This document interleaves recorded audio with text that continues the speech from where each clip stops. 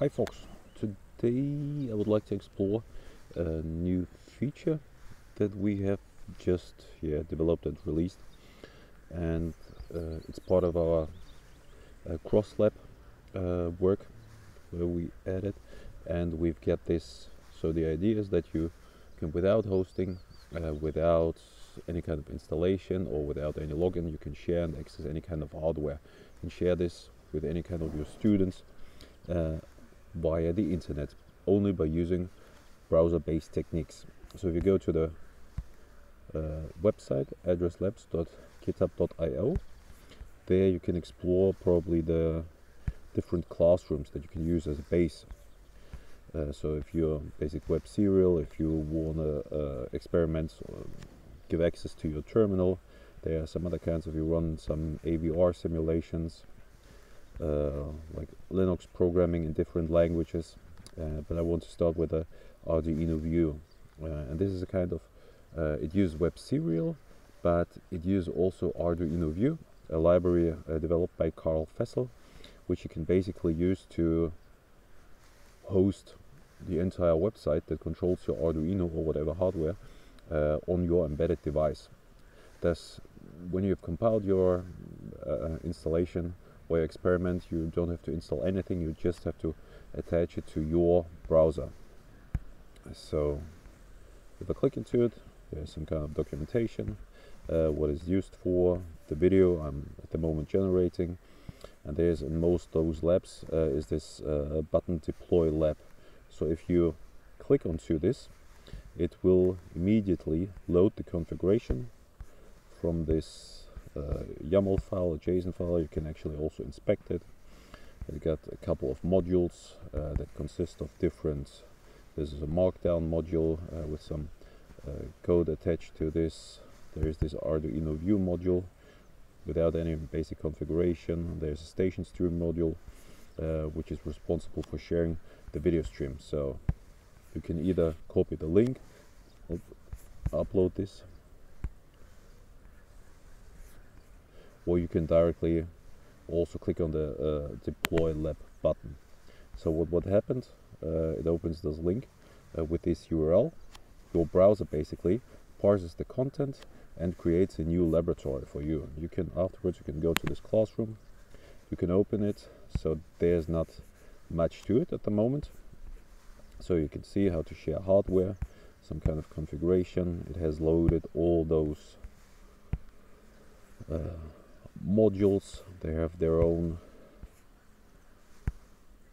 configuration some general settings some teacher settings if you want to which describe uh, some stuff more. Uh, you can basically also edit make changes uh, to this laboratory here within your browser and then either download it as a YAML file uh, for later or as a JSON file and upload this uh, to a GitHub repository as we did it so far now as it basically said we have to share a station. This is actually uh, a browser with a yeah window with a different URL not classroom but station but the same URL which is actually unique and randomly generated. If you open this it will open as you can see the camera module some definition and this uh, Arduino View module. So and this will basically load everything that's here on the camera visible. So but as at the moment there's nothing installed. You could also go to this uh, if I reopen those classrooms again and go to the Arduino lab there are some basic examples which I'm going to Adafruit example and an Arduino slider example which is basically a simple Arduino file experiment which uses the uh, library uh, by Karl Fessel, Arduino View, which uses those uh, frame iterator, frame st stream, which allows you actually to create uh, or host like on a simple website, HTML, uh, short, uh, like in this example, on your Arduino and they communicate via uh, yeah, web serial. So if I also prepared this one, the Arduino slider. If I run, compile and upload this at the moment.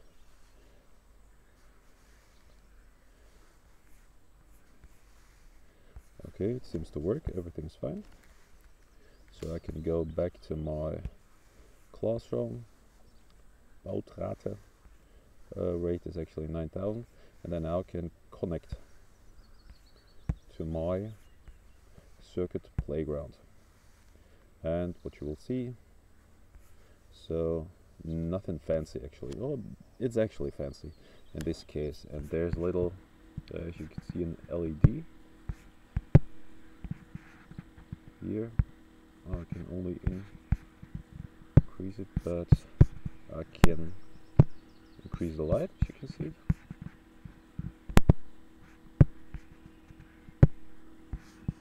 As you can see the red one goes up and or can switch those off. So no light blinking anymore.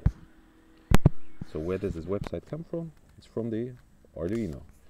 And when we connect another one that's a more fancy experiment that uses uh, some kind of yeah graph drawing those um, sensors that are attached to it. Uh, you can control also the LEDs and the sound output and stuff like this. But you, but the idea is pretty simple. You can also, it could be a, a mobile robot. It could be anything with a motor. It can be any experiment actually that talks, uh, uh, yeah, via the serial, uh, via serial port. So if I compile this one, so I put another experiment onto my uh, Adafruit circuit. That's it. I now connect this. Again. And as you can see we can do some temperate uh, temperature measurements if we want to. But what is fancy actually about this so the one who started where is it? So this is my classroom. If I go back to Edrys labs you can see uh, this lab is loaded if I open this, the station will appear. You can use this URL also. If I copy this to Firefox. As you can see, there's a third one.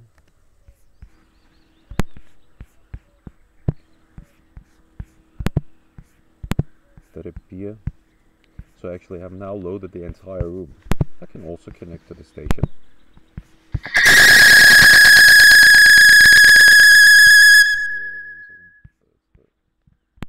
sound.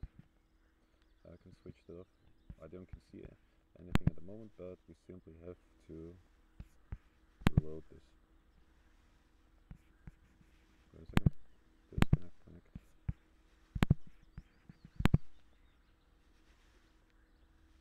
So now we are on.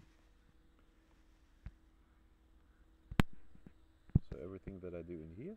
Now start the measurement will be also happen uh, will happen also uh, within the main station. So this if you want to share this lab actually so that your students can make uh, the same or experiment with anything that you have attached, uh, have attached to it. Uh, you only have to share this URL and how is it transferred use WebRTC at the background.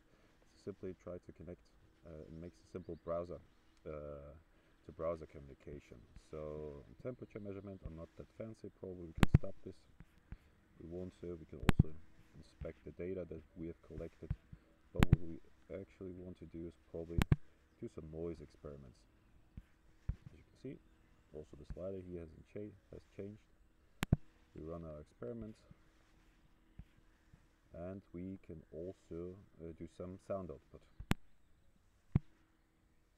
and can see. You cannot hear it at the moment but the Arduino actually generates some kind of sound or some noise uh, that the sensor also detects. So we can make the sound at different frequencies if we want to uh, switch it off and that's it. Or if we want to there's another third one third experiments uh, with the lights on we start this one. Probably there's some uh, light measurements uh, are going on. Uh, we can change the color. As you can see the color also has changed there. Increase the number of ah, it's barely visible but you can see that you can now turn some LEDs on and off. This could be used for some kind of I don't know plant experiments uh, where you increase the light and measure the temperature the humidity. Uh, let's do some red color.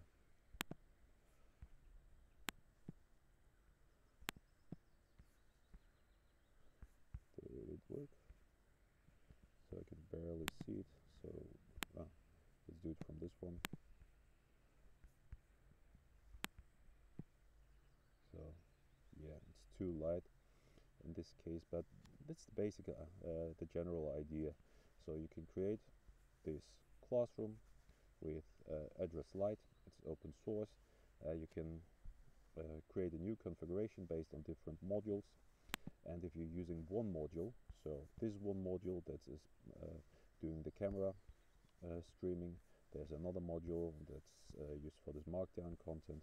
There's a third one now which uses this uh, Arduino View so pretty new at the moment and so the idea is basically you can use any kind of old hardware device laptops and you can simply attach your Arduino experiment to it and it will directly connect uh, to the browser and your experiment is ready to be shared.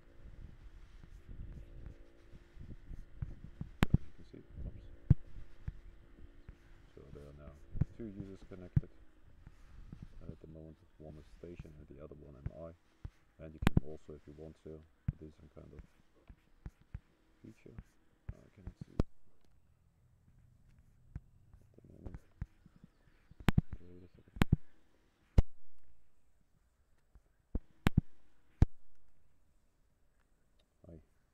So there's a slight bug. I have to change this. So there's also something like a chat. I did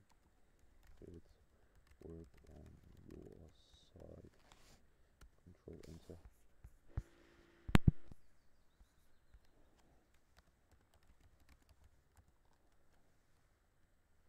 So this is basically if you just the idea is if you just place your laptop uh, your experiment somewhere and let your students access it uh, 24-7 via this generated uh, URL so they can also talk to each other and check out if they're what the other one is currently measuring uh, and doing. And last but not least, if I go to this main view, so now there's just one experiment at the moment uh, that I've created. You can either delete it, reopen it, or you can fork it. Which generates a new URL can go to the configuration uh, Arduino Lab version 2 uh, save this. As you can see and change the order of the modules if you want to. Uh, change the configuration in any case uh, in any kind of publish simply there uh, this as a new laboratory or experiment. Have fun